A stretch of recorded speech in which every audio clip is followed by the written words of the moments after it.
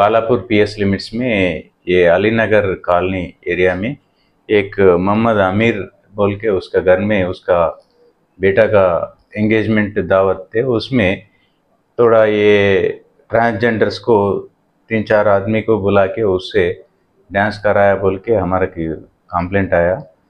उसके बारे में हम केस रजिस्टर करके इन्वेस्टिगेशन कर रहे उसमें अगर बिना परमिशन है कुछ इलीगल काम है तो उसके ऊपर हम ज़रूर एक्शन लेंगे। और कोई भी है तो भी ये ऐसा विदाउट परमिशन ये ट्रांसजेंडर ये कॉलोनीस में और रेजिडेंशियल एरिया में ऐसा काम नहीं करना बोल के हम पब्लिक को बोल रहे। ये, इसके बारे में पूरा इंक्वायरी करके ज़रूर एक्शन लेंगे।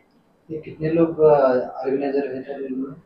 इसमें ये फैमिली का एंगेजमेंट और बच्चा का वो एंगेजमेंट है बोल के उन अरेंज किया।